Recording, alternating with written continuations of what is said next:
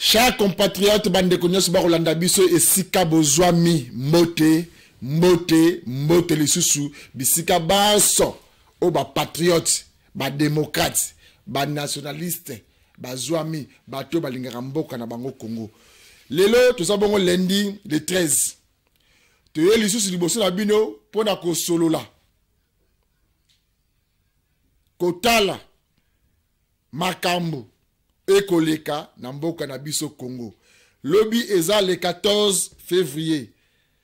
jour ya baamoureux ndenge tobengaka yango comme momesano tokofete na guerre na menace oyo eza 0 mètre na mboka na biso congo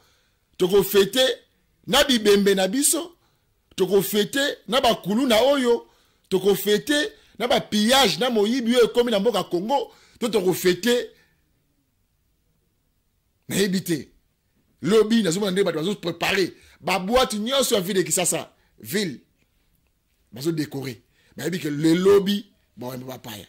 maintenant kosenga na bato oyo bageraka congo bakambi ya mboka congo moto akogere vie de kisasa nayebisaki yo nayebi ke yo mpe olingaka no mo babanga wana ngobila ngobila wi me mokolo ya lobi eza mokolo ya kofete te bandeko na biso na goma babandaki bamarche depuis mokolo nini baza kuna na goma biso mpe mokolo ya lobi ifo action moko ya kafu kafu esalama awa na kisasa tolakisa bango deja meme moral meme esprit na bango baza bakoro lokola biso makambo ezokoma na goma ekoki mpo kokoma na kati ya congo ntango so boyebaka te bobetaka lisolo mingi ya brazzaville barwandais baza na brazzaville bakonde baza na brazzaville ngai naza temoin oyo nayebi barwandais namona bango boye na ngai ba brazzaville wana na tous les provinces le nord wana omonaka wana banda jiri kintele ti jambala moto ayebi yango nayasi na kisasa awa koleka ngai azali te nayebi boya banda jiri kintele kintele ezali maluku neti ya bango okei baifondo bango bajambala eh? baichu baimpe baichuali moto ayebi yango lokola ngai journaliste nazo yebisa bino na kisasa awa nayebi nyonso toza mibale mpe misato so okende baprovince na bango na bamboka wana nyonso ya congo brazzaville bandeko wana bazalaka deya depuis kala depuis sikoyo bino mpe fosi na eta ya priere na eta ya bitumba toboyi mokolo ya lobi ezala kaka yaya mwa gene yaya mwa eloko te lobi makambo ya vimba vimba ezala te lobi il faut tosambela mpo na mboka na biso congo alors gouverneur en ville de kisasa si le moment sunga biso koma mokanda lobi concert ata moko ebetama te église autorisée bar tous les bars bar boite ekangama oyo oh, bakomona kaka fimbu il faut tozala etale prière mpo na mboka na biso congo tozongi na makambo tozosolola mpo na mboka omoni ntango mboka eza menace drapo mboka eza menase bato mosusu asala bango malamu te lelo tolamuki lobi na butu kisenso ezalaki ingouvernable komine ya kisenso ezalaki ingouvernable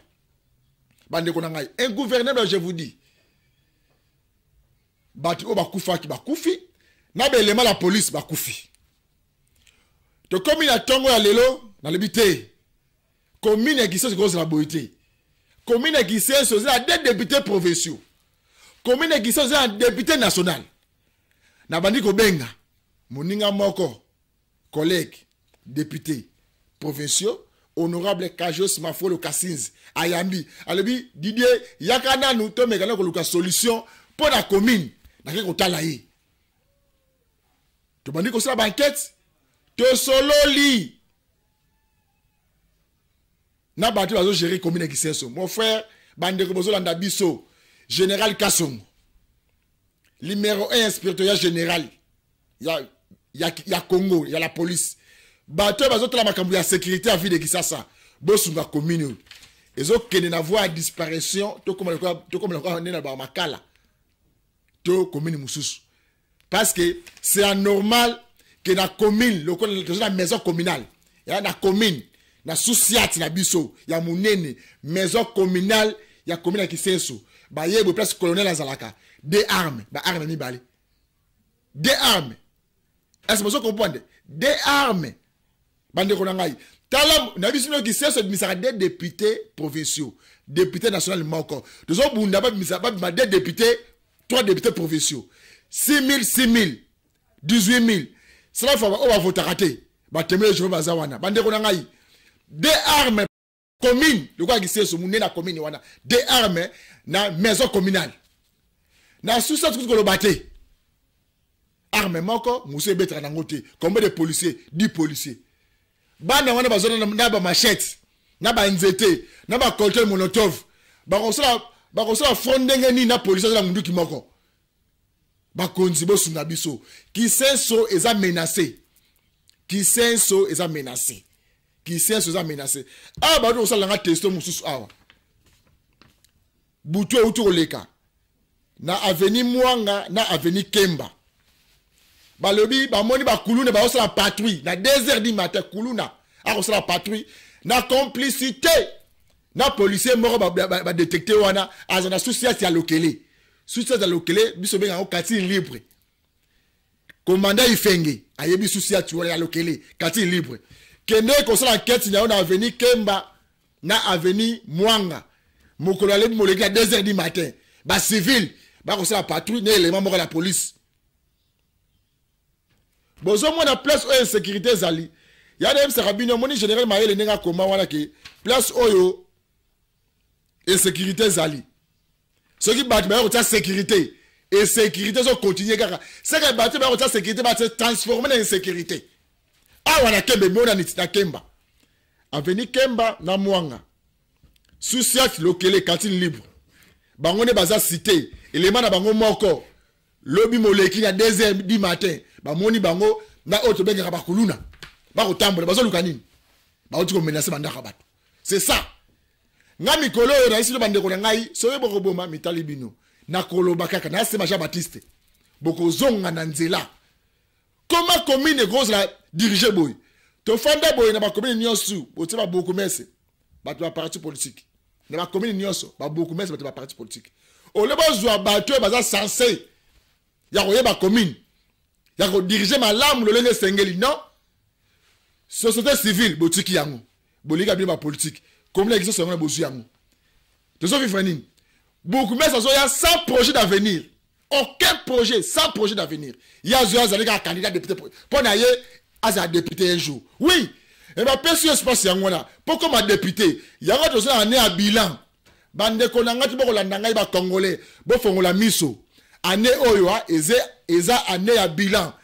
depute ntango azoya liboso na bino kosenga ye mbongo te ni elamba elamba ake obeba 5000 franc yango ekosala 5 ans te raisonne ke ye azwaka 21 000 dollars sala yango fois 5 ans ye apesi yo 20 000 yo obineli ye 20 000 wana yango oliongo na 5 ans nyonso okopesa mbongo to ndenge nini bacongolais tofongola miso topusaka makanisi na biso ntango depute azwa liboso na ye fo tuna ye bilan yo bima depute depuis 2018 yango ya kabila 18 ya kabila yaka na kabila depute 5 yango ya félix depute nini oyo osali mpo na biso bana kisesu lakisa biso ekole nzela to mosala oyo osala mpo na bana kisesu c'est ça bandeko na ngai kisesu bofongola miso bozala distre te bofongola miso jeune vote jeune projet année ya bilan aya alakisa yo bilan liputa kopesa bateka liputa combien bassin atekaka combien mais bosolana botinde bilan na yo oye wi oza mwana biso lisieso ozalaka na aveni nsau ozala na dimanzadi ozala na masosa ozala na masiala oza mwana quartier mujinga oza mwana quartier mission oza kuna na matota eh? tosolola na yo yebisa biso bila na yo eza nini oke kuna na luvaka fief luvaka omona voldi voldi de tolabia ah, ave nanga ta luvaka eza pa na ngai kuna na luvaka bana luvaka boyebi masolo nde tosololaka kaka okompane bilan bilan osala nini mpona bana kisenso masolo kaka te yango wana tokobeta masolo yango nasombi ekolo congo honorable cristal vuanga mokolo ya lobi moleki samedi malgré bamenace nde tolobaka quelque chose adire de la nuit esolera par état mwana somi ekolo congo honorable cristal vuanga malgré bakale oyo ezalaki na assemblée nationale echange de vie na ye comme azaliki aza initiatrice président ya ong wife alingaki mokolo ya samedi asala echange de vie na babase na ye nayebisi bino force ya député emonana nde ndenge wana ololi mpe babase na funa ye ti na palais du peuple tunanga combien député lemi ezeli ya funa eh? force ile ezomona kaka wana eza kaka échantillon échange de ve ya honorable christel vuanga na population na ye ya funa bavotai bacongolais base mobilise baya basolola na député na bango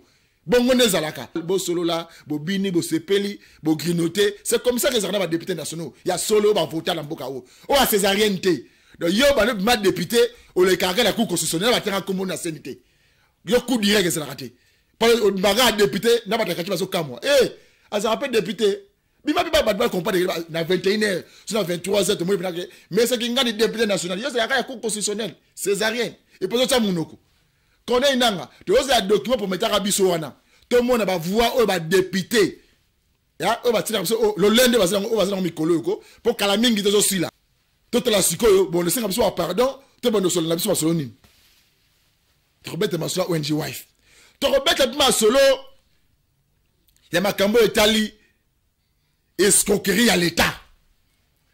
leta atekeli moto esika moto azwi badokima nyonso tu batite foncier urbanisme ya habitat nyonso azwi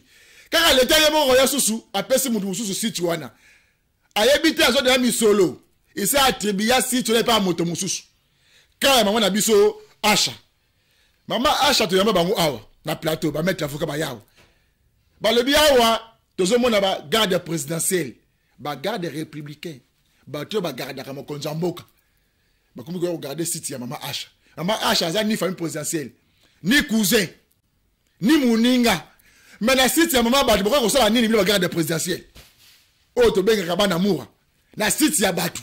kuna na komi na sele bokoki kosala nini site yango eza en face ya mausolée ya etienne tisekedi kobanda terrain fekofa ti safari beach bato baye bazwi bana mora baye banganzami wana atata ah, biso na kisenso kisenso toza na manque des éléments na manque ya munition ya minduki belema wana bake soki kogarde site oyo bayebi teke na kisenso ya sécurité ezali bodefisa biso nyo bango na la police ministre ya affaire foncière molendo sakombi molendo sakombi ye nde aza la base ya site oyo ya mama asha kindobo ezwi fekofa ti na safari beach espace wana nyonso tu balobi ezali ndeko na biso molonde sakombi nde akamati site ya mama bato asha me to kokamwa ministre affaire foncière azwi site ya bato mama oyo asha azali na mikanda na ye babandi kobuka présence ya bana mura banani bazotonga bachinois na baindien nde bakotonga na site wana tozo comprendre te bendi yango bakomi bana faci bandeko ya faci to ndenge nini bagarde républicain baosala nini na kisenso bakolela entre te na kisenso bakolela bapolicier minduki eza te belema baza na baarme te civil azoboma bapolicier baimage na baso na bino na kisenso eza ingouvernable na ntango tozoloba boye kisenso eza ingouvernable inhabitable village natal na biso me awa na siti oyo soki oke na mozo kindobo bana mura baza kuna bakosala nini bakoki korenforce la polise ya kisenso te nalobi boya bakoki korenforce la polise ya kisenso te tokufa kaka biso moko bana ya kisenso population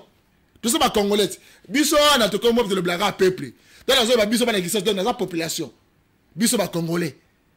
comme bino bozwa bokokipe mpe biso te bosunga biso te toyo bacongolais toza régi na constitution ya mboka boza wana mpo bobatela bato na biloko na bango me biloko bino bokobatela oyo site oyo ya mama asha ese eza danger mpo na mboka oyo site wana milio bani bokei na minduki bokei kobatela eza danger population kisusu ezosouffrir nakende lokuna na pays du peuple epai wapi mama na biso honorable chrisel vuanga nayebisaka bana funa boyebaka kovote boperdaka papier na bino te boperdaka papier wana te mokolo ya vote mbula wana ebetaka bokendaka kovote avec raison botala initiatrice ya ong monene wife akoexplike bino eloko nini esalaka ke asala ong oyo ezalaki échange de vie akutanaka na base babase na ye échantillon oyo bozomonana ngai nayebi bokasite na ye échantillon ya babase na ye kaka bayaki na paye du peuple wana malgré mikakatano bakoko jambe bapoliticien eh? président mboso bande bageraka assemblée nationale yango nayebi te soki makambo ezalaka ndenge nini na kati ya assemblée nationale na ose ya micycle policier na arme de guerre kaka makambo tozoloba yango arme de guerre mokolo ya samedi na kati ya assemblée nationale soki ozala tembo eloko soki baimage la police oyo bazokengela président ya sena na kati ya assemblée nationale na minduki formation bozo formation nini bozwa nani formation ndenge nini bozo supposé na mokonzi yango eh, formation ndenge nini bokoya teni civil te baveste basomelaka bino te eh? boye ozala na bien teni mosenzi obambi mpo bao na kati normal tolakisa bino ka mosala yango boza baprofessionnel ya ndenge nini mosala yango bayokola yango wapi na kati ya misie population na bino ya minduki ah, tika bolanda bongo honorable christel voang initiative ya ong wife ndenge asololaki échange de vie na babase bokosentire ke nani oyo peuple atindaka nani mpe oyo peuple aponaka maponami yango tozoya mapeka baya ya mosusu ekita jeune vote jeune année ya bilan ona ba christel voang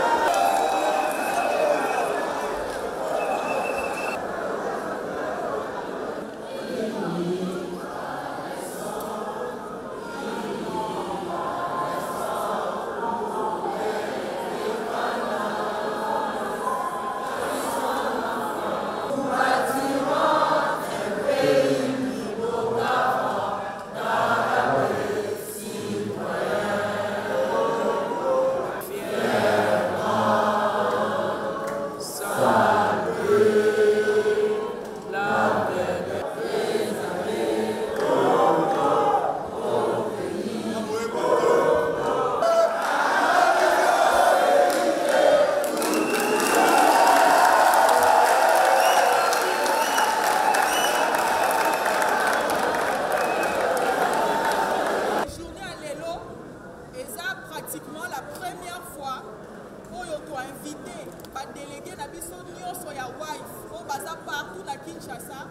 et tosengi bango mpe ba invite bato mpo baya komona makambo nini oyo biso tosalaka na organisation na biso bon tozalaki vraiment toprevoyaki journée ya lelo todifusele bino baimage oyo tosalaki résumé ya bamakambo nyonso oyo tosalaki année passé baaction na biso nyonso oyo tomenaki mais malheureusement monguna abundisi biso esalaki lelo tokoka kodifizele bino filme wana te oyo tosali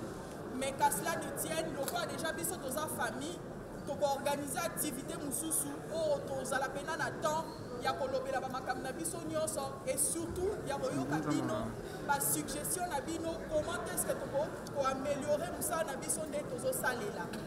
nasepeli na salle oyo namoni bilongi ya bato oyo bandimela nga dès le départ baoyo bamona nga na tv bandima nga ya kondima bakomisanga mwana na bango yaya na bango leki na bango bakomisanga membre ya famille na bango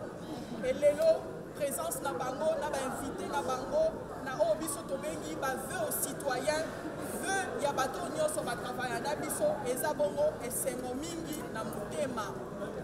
euh, bokomona lelo tozala na bainvite toinvitaki mwa quelques personnes mpo mpe basola na bino tosala yango mpena na lombango mpo motu nyonso azonga makambo oloba na biso lelo ekopermettre biso toevolue na moko na moko na lolenge tosalaka na basite na biso na bacommune na biso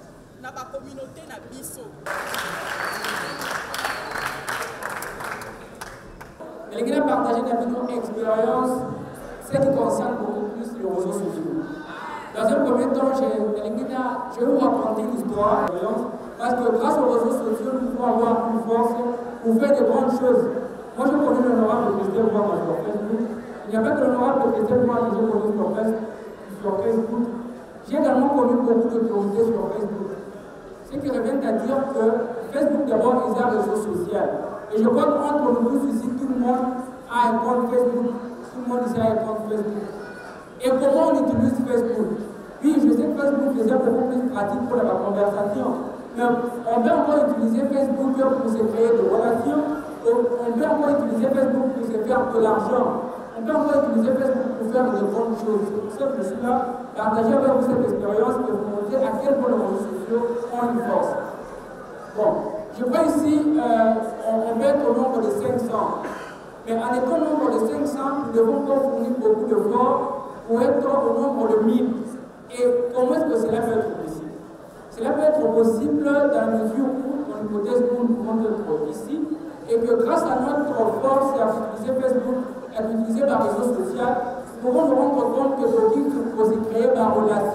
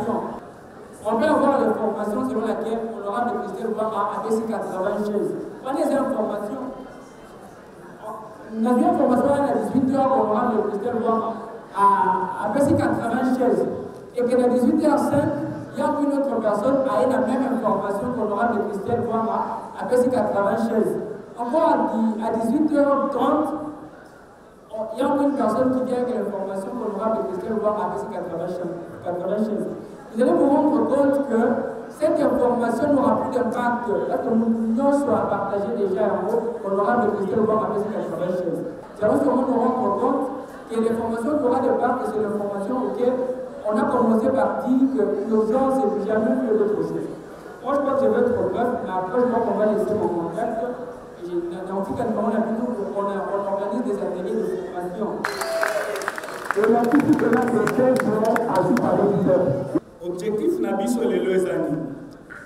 mama Christelle aya election biso moko topona soki akozala gouverneur ya Kinshasa soki akozala député national to sénatrice par rapport ya ba besoin oyo biso toza nango na circonscription na biso yango wana te eza makambo ya banzela eza ebele makambo ya pauvrete mai eza te courant eza te soit toelire ye depute national Soit to élire ye gouverneur, soit to élire ye sénateur par rapport à la stratégie oyo tokotia en place. Eza bongo te. Mais soki tolingi kovise grand bongo, il faut tomeka kotravailler en profondeur. 10 personnes, mutu na mutu a mobiliser 10 personnes. Mais ça ne se limite pas là. Parce que soki bo mobiliser 10 personnes, il faut ko ebisa chaque mutu ya 10 wana bo mobiliser, soki ye pe alingi ko zala leader, ye pe azwa combien?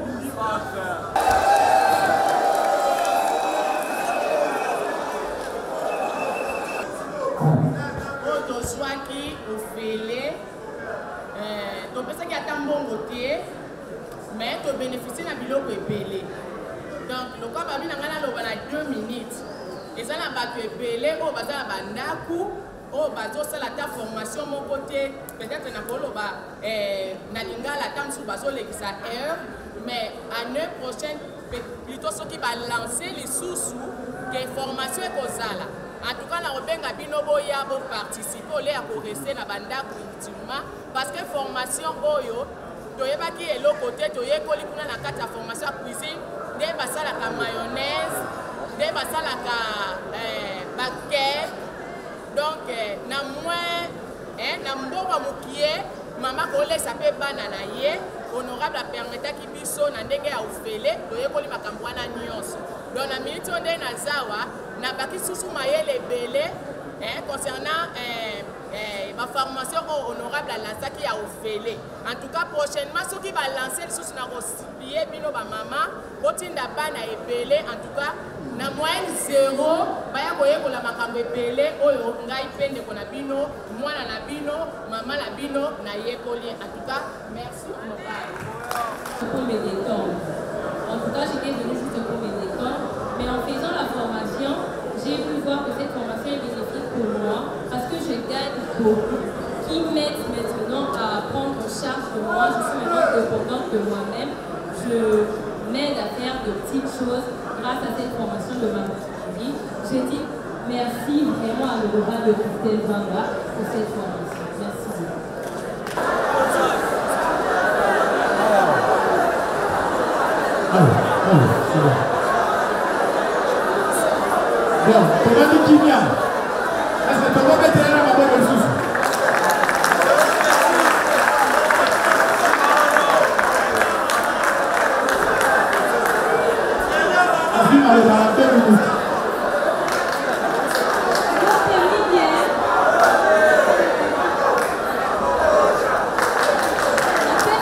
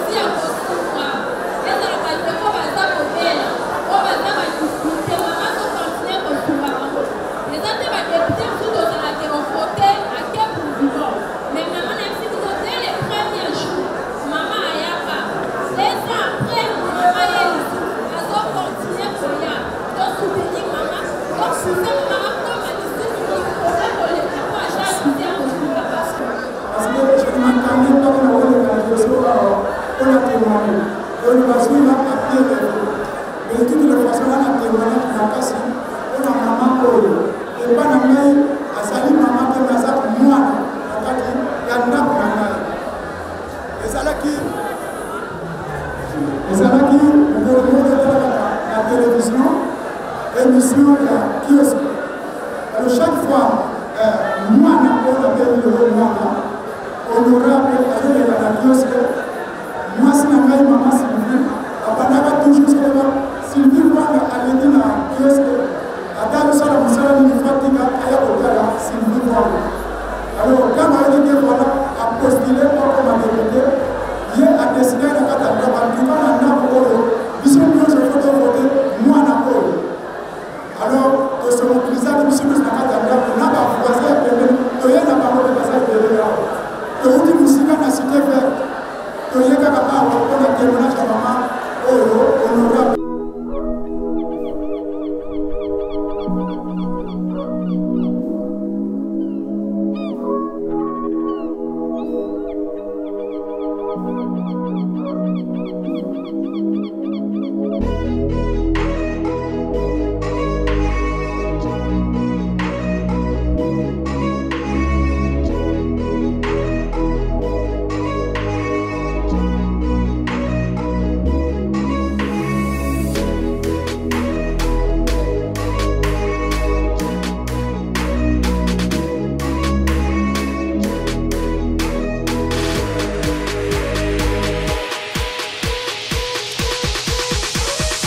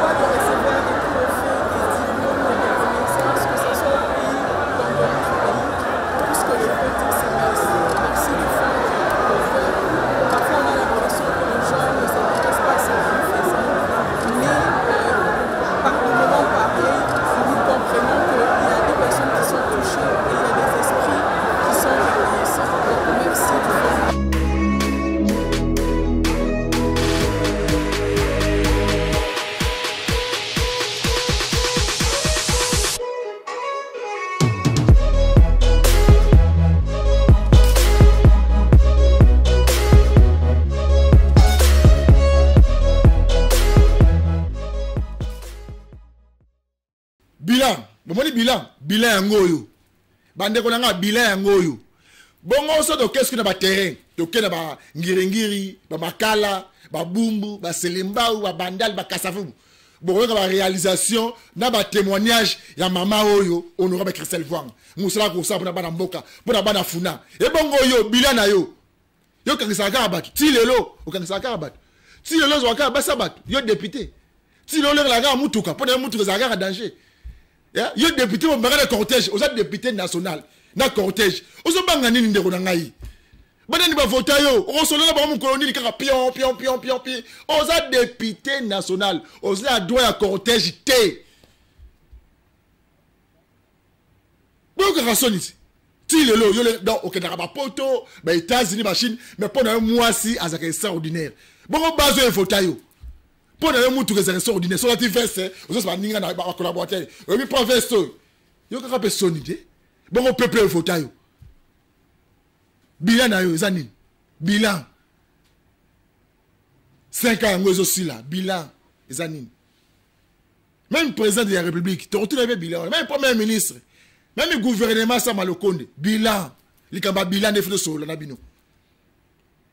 meme na hémicycle nakobeta masolo awa kino na kati ya assemblée na kati au sein ya assemblée nationale mutu na munduki arme de guerre ya munene wana okoti nango okosala nango nini wana eza carte d'institution bato tufa tika libanda na minduki na bango parce que kuna c'est l'ordre qui règne bato baza na tenisi basala mosala na kati ya assemblée nationale ina munduki kaka boye nena oza danger mpo na nini mpo na mboka o président sénat danger mpo na mboka mpo na nini toke kuna sikoyo na site kindobo komi na sele bomona ndenge bato bakolela eh? bakolela baperde bandako baperde tout un quartier mpo na nini baza na mikanda na bango abonne du forme afuta ba taxe na ye mais l'etat parce que ministre molende sakombi malgré ye te moto asedaka place wana mais babe yango ba, ba continuité des affaires de l'etat ntango yo ozwi oyebi ke moninga na ngai moto asindaka mikanda oyo mpo yo obotola il faut otia bamoyen ti loi congo elebi eza claire ongo obotola mutu atonga lopango na ye oyo eza makambo ya leta bokosola na ye opesi ye mbongo na ye yo ozwi mpe esika na yo no oyo na gangitisme ozoloka mutu non wana tokotelemela yo toko mon frère tala bandeko na ngai biso oza bato tokofanda batishe mpe baministre te tokoloba ti na bandenge elema oyo mwa kala tokoyeba molo nde sakombi azwaki combien mpo na siti oyo kindobo molo nde osakombi soko otuni siti kasavubu kasavubu awa eh, kasavubu oleki kimbangiste centre d'accueil kasafu buana molende sakombi oke na gombe molende sakombi oke ya limetawa mama wana aotokufa ya 10 miri molende sakombi ministre affaire foncière mais sikoyo yo oza wana mpo na population tozala cause ya population congolaise bolanda makambo esalamaki kuna leta moyini na komi na seli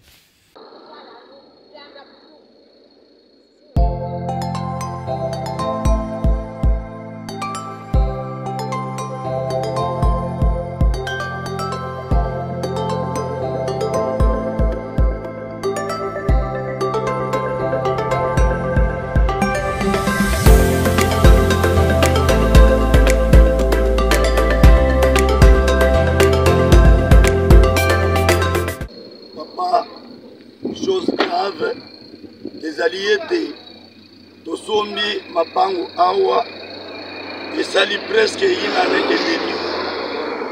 awa na site oyo bazali kobenga site ewa na quartier kindobo epai ya mama asha oyo moto atekeli biso concession mobimba oyo chose grave awa tokomi koya mpo na kovisite bisika topeseli misolo tozali na droit ya kokota te likolo ya baindien ngai nasombi depuis 2021 jusqu'à lors tomoni problème moko te tobandi mpe misala ya kotonga yango nde tozali surpris awa ya komona bagarde républicain kozala vraiment na kati ya concession mobimba kotelemela biso bakongole ke toza na droit ya kokota te baindien bazala na droit batonga mpe basala misala kuna cause eyokani jusqu'à lor te parce que voir meme soki cause ezalaki il faut babengisa biso tout bato oyo baye kokuta biso tobandi kosala misala tozali mpe baye en droit mais balingaki babenga biso baexplike biso qu'est ce qui se passe dans la concession babengi biso te jusque là tomoni kaka bagarde républicain c'est pourquoi toye kotalisa gouvernement ya mboka bayebi très bien ndenge bato bakufi plus de 160 personnes likolo ya inondation ya mai yango nde tozali komituna ke mboka oyo tozali baautorité baye bazali kokonza mboka pourkui ntango babandaki kokata mapango preske inane mobimba 2 ans 3 ans bato bazokata mapango batracteur ezalaki awa oyo ezalaki kosala babalabala jusqu'à lors lelo troisième année nde toya komona biloko ya boye ezokamwisa biso avant tosomba tomoni arrete oyo ya ministère ya urbanisme na eh, oyo ya ministère ya titre eh, affaire foncière mpe nini ekoki koprouve ke oyo ya kala balongoli yango mpe ya sika yango nde ekoti na kati ya vigere nini ekoti otalisa bongo toyebi likambo moko te tomoni kaka bagarde républicain balobi accès ezali te ya kokota na chantier mama asha azali moto oyo asombi concession oyo na bakutimie papa likambo ya kokamwa ezali ete oyo ya biso arrete ezali na journal officiel mais oyo ya nsima jamais nanu tomoni yango na journal officiel te bachef coutumier mpe ata motu moko nanu toyoki ye kozongela mama asheke no problème ezali te tala likambo oyo malamu akozala na baconseil ya mabe parce que année oyo azali année électorale oyo bato nyonso bazali mposa ya kopesa ye deuxième mandat mais alandela baoyo bazali li koluka problème na population te biso population tozali nsima na ye ye mpe asoutenir biso mpo na kozongisa biso na droit na biso tozali plus de 257 famille awa toza na en face ya mozoli ya papa etienne tshisekedi na site ya mama ewa na site ewa ya mama asha hmm. eh, awa probleme monene eza awa ifo bakonzi batala yango nano bato bakufi te parceke bakonzi bazela te ka ntango bato bakufa nde baya awa probleme eza monene awa ekoki kobomisa bato parceke bato bakoki kokufa na batension bato bakokufa na makambo ebele ebele parceke tosombi mapango awa ya plus de deux ans maintenant moto aza na accès ya kokota kuna te parceke tomoni basoda ya carte républicaine baza awa bazo empêche biso tokota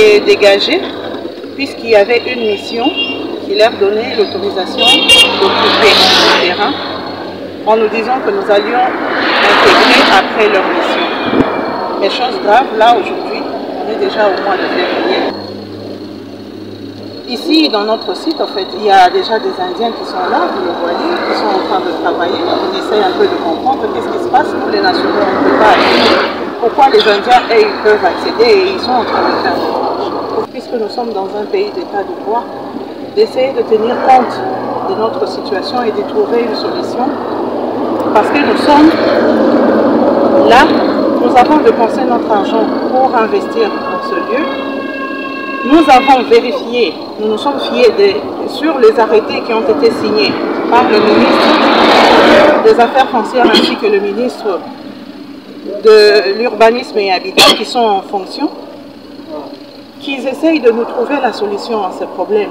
toza na besoin te ko bazongisela biso bambongo toza na besoin bazongisela biso mabele na biso parce que toza bacongolais toye koinvestir toza bacongolais toza na besoin totonga olobi mpe bana na biso ntango bakoya congo bazala mpe fiere na baparent na bango ke baorigine na bango ezalaki mpe ntango baye basali mpe eloko ntango tozokende mpe toomona fierte batika makambo asala wana s'il vous plaît nasengi kaka na bakonzi ya mboka président de la république euh, félix euh, tshisekedi ayokela biso mawa akanisa mpe badiaspora mpo kuna eza mpasi ya kozwa mbongo na poto eza mpasi papa ozwi oyo kosomba babotoli ekomi susu bademarche ebele ebele olandela soki mpe bakozongisa mbongo soki bakozongisa te biso toa na besoin bazongisela biso mabele totonga c'est tout ce que nous olingi muntu mokole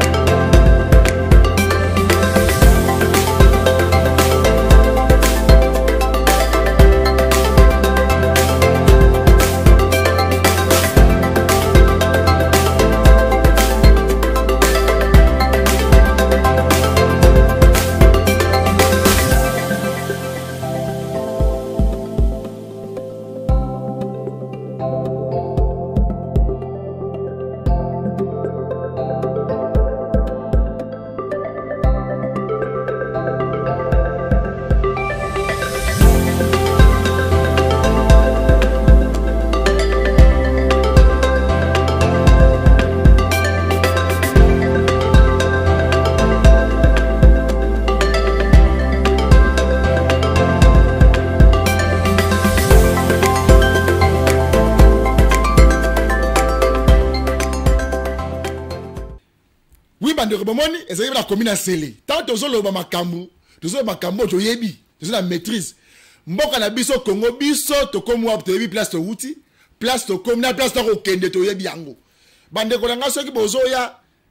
bo gérer mboka oyo nde ba gang na gigangitisme yesu bo koleka te eloko moko koleka biso ezala te toza na besoin droiture sala makambo yenge bene mibeko toza état de droit président aza be moko faci beton mukwa tombolo hein? le vrai descendant ya tomalanda besenga nde ozwi mpo ma ministre ya congo aza moko jean michel sama lokonde kienge premier ministre ya congo na site kindobo kuna ndenge nini bandeko na biso bagardaka mokonzi ya mboka bakomi na site ya bato me bachinois na baindien nde bakotonga tozo comprendre te baindien wana na bachinois wana bakomi bacousin to bana ya président de la république to par accident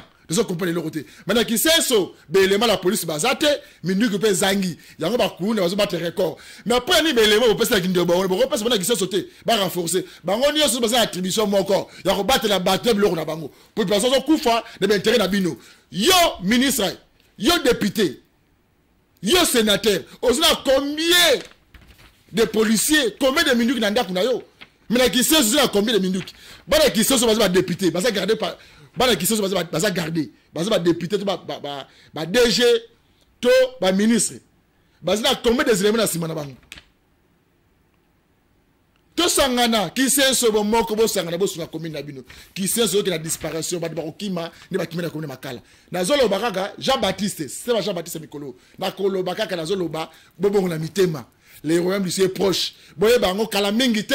manda ezosila 2023 na keke mikolo bila na yo yo likoki kozala candidat député yo député éternel yo mosala na yo olingaka mpe bakopose comme dg comme ministre rien kaka depute siko bilan na yo eza nini bilan osala nini mpona peuple wana bafotaka yo kaka bilan na yo eza nini bilan na yo eza baveste na yo bilan na yo eza basi ozwaka bilan na yo eza mituka otambolaka na bango bilan na yo eza mabango bamisa bayembaka yo sikoyo population evota yo nini yo osalaka mpona bango tokokanisa yo mpona nini lelo okufi parce que oza oza mpe éternel te okende un jour soki okufi pendant 18 ans ozwi 5 ans oyo ya mbuta faci yo osala nini mpona bana kisenso c'est ça mituna place ozali ya bongosaka manete yo mitunaka boye ngai nazalaka kaka depute mpo nakomaka dgt ok depute mpo ozalaka depute kamama baba oyebaka kodefendre commune na yo te oyebaka kodefendre district na yo te soki okufi okotikela bana kisenso nini c'est ça motu ekokomitunaka tokutani lobi